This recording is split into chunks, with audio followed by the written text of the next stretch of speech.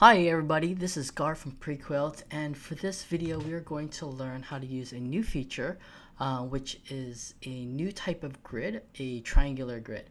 So I'm going to try to create a uh, recreate uh, this quilt right here using um, this new grid that we have right here. So I'm going to jump over to my dashboard and create a new quilt. So this dialog box gives us uh, two options for the type of grid that we want. Uh, this is the standard rectangular grid. I'm going to pick the equilateral triangle. So it automatically created um, 18 columns by 10 rows as well as uh, two types of blocks. So here we have the equilateral whole. It's, um, it's made for the inside of the quilt like this and you can add it here. And so this one is half of the triangle which is ideal for the left side and the right side to uh, fill in. So I'm to save this. I'm to select everything and I want to uh, clear everything using this reset select. Okay. And then I want to clear everything and then start from the beginning so first off, I need to create a new block. I'm going to click here to make custom block. And I have uh, two options to the type of block that I want. I'm going to click this one.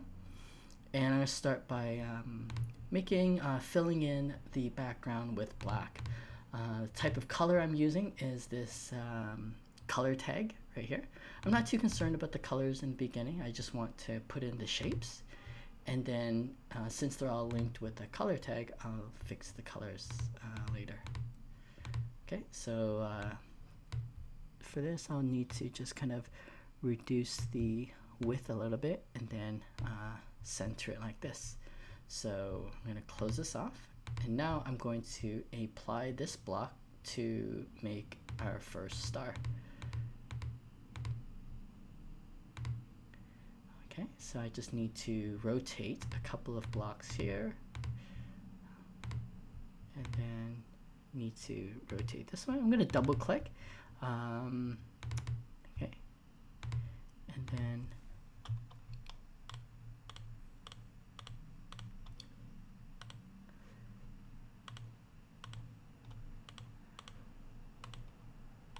Okay, just need to double click this. There you go. So we have our first star ready. So now I'm going to take this star and copy and paste to create our first row. Okay, so I want, instead of clicking all these uh, blocks, I just want to right click and tell it to select everything that has the same block. Okay, so now, so now that it's selected, I want to uh, copy this and then paste it uh, right over here. So this I'm going to right click on this. So it's important where you right click because that's going to be uh, the exact point where you're going to have to paste it. So because I clicked onto here, okay, on this uh, triangle, it means that I need to paste it right here.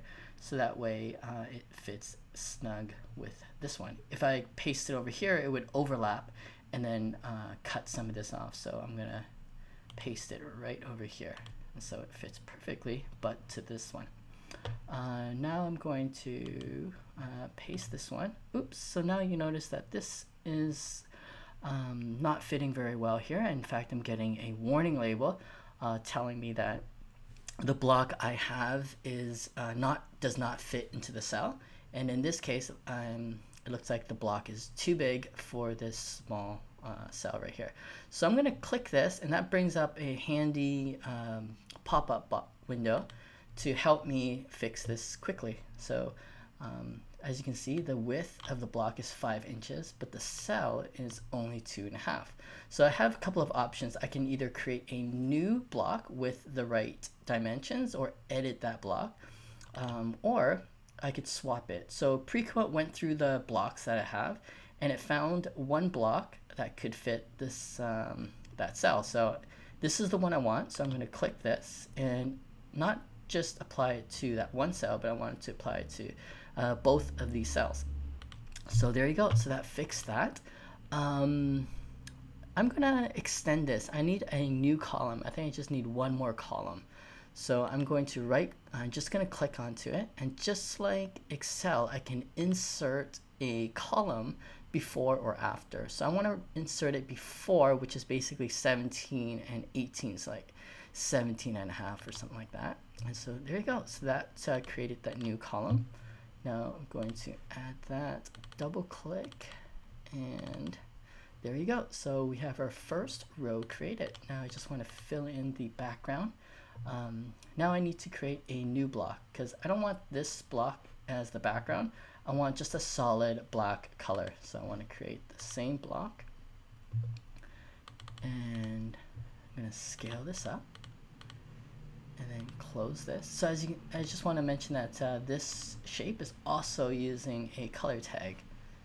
And that's uh, going to be handy when we are finished, when we want to apply the randomization, uh, randomize color. Okay, so just select these. Lots of clicking at first, but then after you get this one, you can just do uh, copy and paste. Okay so this one's for the edge okay so we have our first row done and now we want to select these four uh, rows by highlighting that and I'm gonna again it's important where you it's important to be consistent where you want to uh, copy and paste. I like to pick one of the corners it just makes it easy to remember. So I'm gonna copy that as the starting point and then this will be where I paste it. And then I'll paste it again. Oops so it looks like some parts are getting cut off. So I'm gonna need to insert this time I'm, since I need to insert two rows I'm just gonna go over here. So this is nine columns and rows. So I'm gonna increase this from 10 to 12 and then I'm gonna go back here because it's still in the memory and I'm just gonna paste that. And that's it. So we have our uh, quilt complete. I'm gonna just uh, play around with some of the colors. I don't like the black and the green, so I'm gonna randomize the colors and see if anything interesting um, comes up. All right, so the white is kind of is interesting. I'm gonna see if I could come up with a something that complements that uh, uh, Kona bone. So I want to lock this uh, randomized color and then continue with the randomize. Just now it's randomizing the um, this one PQB. Okay. Hmm. This is good. I think I'm going to keep this one. I'm really happy with this and now I'm going to download the image and I could uh, save this image to my computer uh, as a JPEG and also download the colors that I used for the quilt. Um, so it uses uh, 226 blocks and it gives you a breakdown of which ones you used. So I'm going to end the video here and uh, so if you have any questions, uh, please write them down in the comments. Um, if you like this video, uh, please give it a thumbs up to support us. And if you want to see more of these videos, consider subscribing to our channel so you can uh, keep up to date with the uh, videos that we produce. Uh, thank you so much for watching and have a great day.